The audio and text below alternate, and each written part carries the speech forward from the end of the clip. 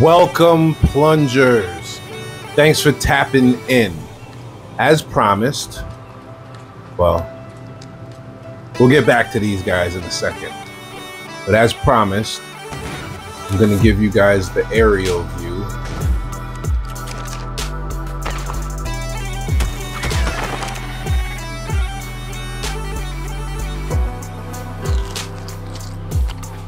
Oh, yeah, okay. As promised, I'm to give you guys the aerial view of the property, which has grown quite a bit since the last episode. Yeah, that one doesn't have a saddle. So yeah, that's Patricia. And this is John. Let's increase the weight a little bit. Some stamina. Some melee damage and throw one into speed because I turned speed back on. So yeah, we'll come from this side. Make it more dramatic so you can see the property. So this is that hallway the secret doors from the workshop there. And then we have the front gate or the side gate, the breeding center, which I made a lot of use of. We got our dock here. Couldn't see it before, but I pay attention to the details. And we have our Herbivore Center.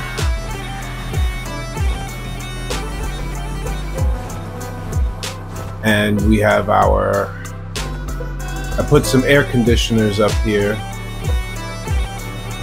so uh, I could also breed the RGs. But since I got the T-Rexes, I don't need to breed the RGs anymore for their eggs. Okay, then we have this over here. I'm calling this one the bungalow. Let's go inside real quick. Show you guys real quick how it's looking up in here. Once you got a forge, like you can make a whole lot of forges and a lot of metal stuff. Especially in this location. I'm pretty much in the relatively same location I was in before. Um, I'll show you in a minute. But yeah, we got this uh, little bungalow here. Currently not in use, but you know, it's whatever, whatever. At some point, I'm going to try to live out of each one of these residences just to test their functionality and their practicality. I'm gonna try to live out of each of them.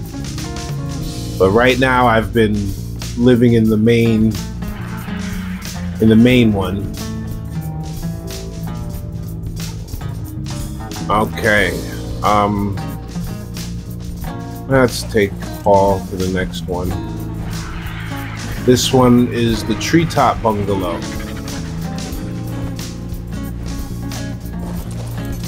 I wanted to platform to look like it's hanging, generally hanging.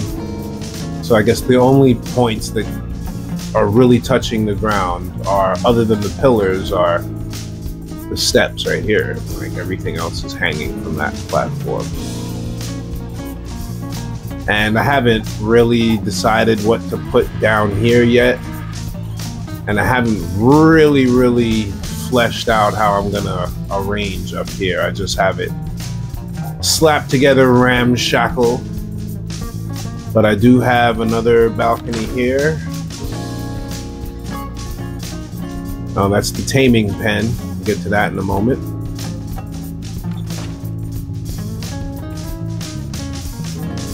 And we have this just in case, you know, you got a flyer, just fly on in and Maybe at some point that roof will render, but go watch that. And I got a little little terrace here also.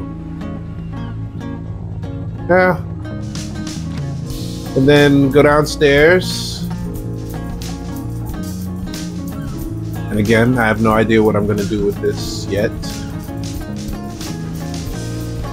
Oh, and poop has become a very important commodity, apparently. And here we have the taming pen. So basically I just RG and just drop whatever I want to drop in here. Right? And and I got a door right here and it gives me a balcony and access and I could just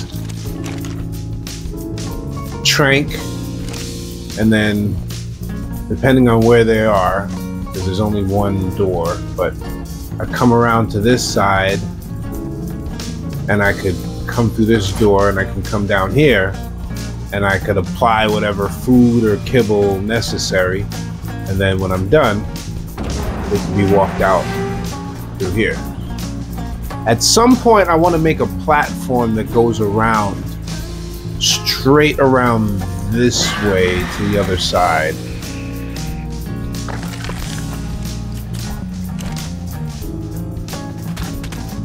He thought he got away with that meal. He thought he was having a good day. I ruined it for the ichthyosauruses. Oh!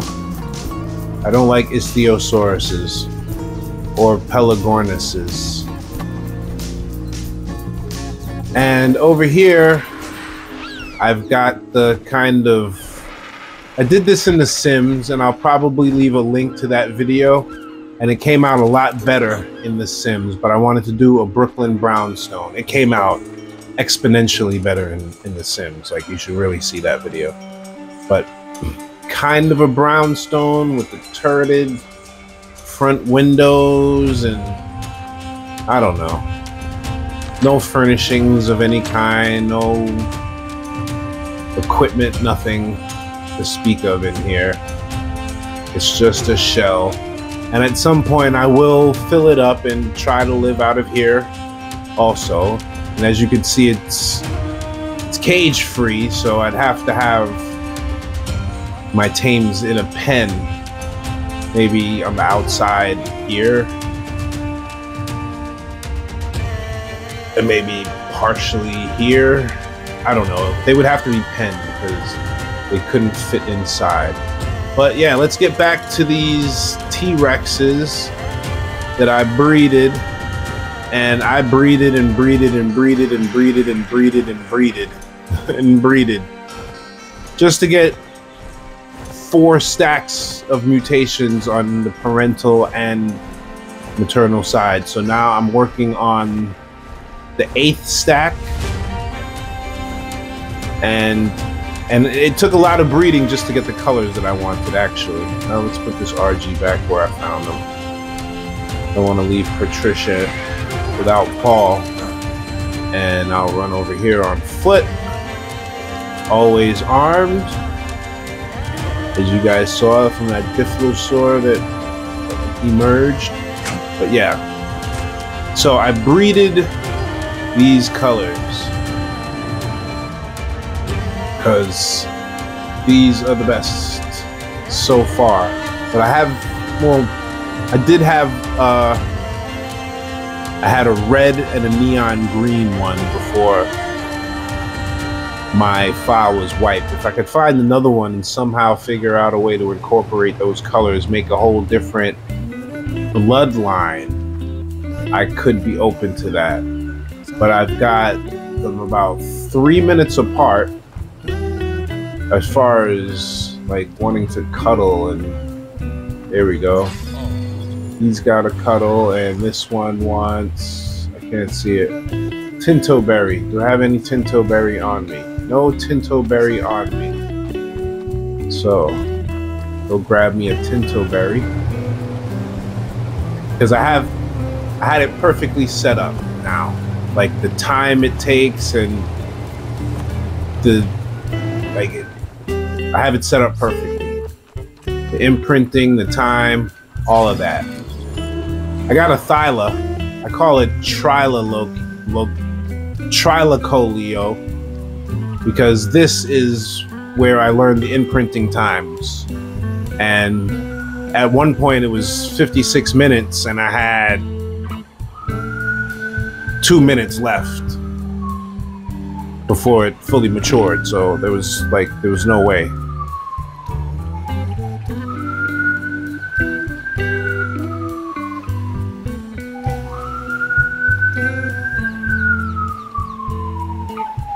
You guys hear that? I was gonna stop, but again, New York City, man. I don't got no soundproof nothing. I got good windows, so it could have been worse. If you heard it, trust me. I got a good microphone, so we'll go and uh, Tryla, give Trila, Tryla Colio. I think I might make might make her first name Trila, last name Colio. But I just wanna. All right, see, so I've got 20 minutes and 36 seconds, so that falls right into about 90%. So I'll have enough time. The first imprinting gave them 50%, the second imprinting gives them another 50%, and I give them, like their father, Chad, I, I had literally seconds to get the imprinting. He wanted an Azulberry, and I didn't have an Azulberry on me. That's probably why I have 294 of them, because I just grabbed the whole stack and ran out here with it, so I could catch them. But yeah, this is the bloodline that I'm going with. Uh, this is the third generation of these. Oh, wait a minute. This is not the right Rex. This is not the right Rex. What's going on here? I think I might have needed to breed one more. Might have needed to breed one more. So this is not apparently not even the correct Rex. This is the right one. Because it's supposed to have four stacks of mutations on each side. This one only has two stacks of mutations on each side. So this is the wrong Rex unfortunately. Good thing, well, I did name him. It's Dex Rex. And uh, we got Mex Rex. But yeah, that was the wrong one. Damn it. Let's see. So we have Chad Rex and Stamp Rex. Those are the parents. Uh, Oh, I think I put them in here. I got the 90 there. No, that's not it.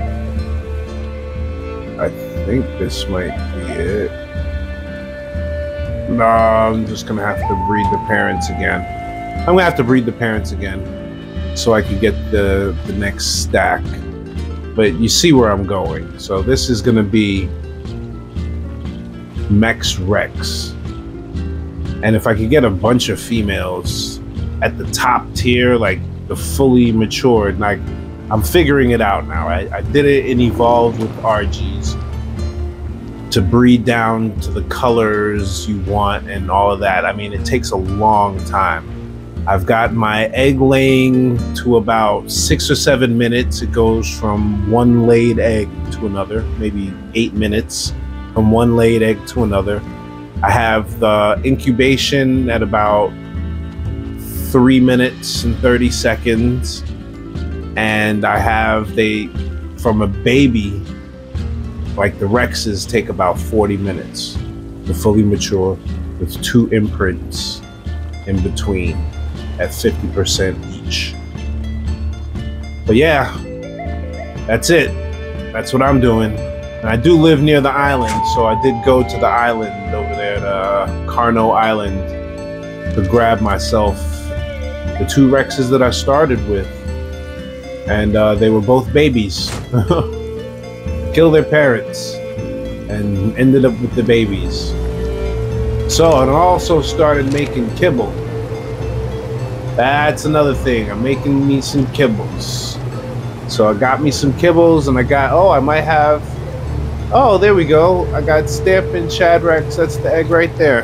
That's the egg right there that I need to start incubating. A lot of eggs have been eaten.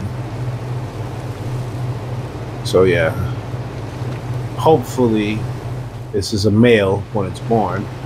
And then I can start the next chain. Mex Rex. Well, since that was Dex Rex, we're going to have to make this Dax Rex. As soon as it's born.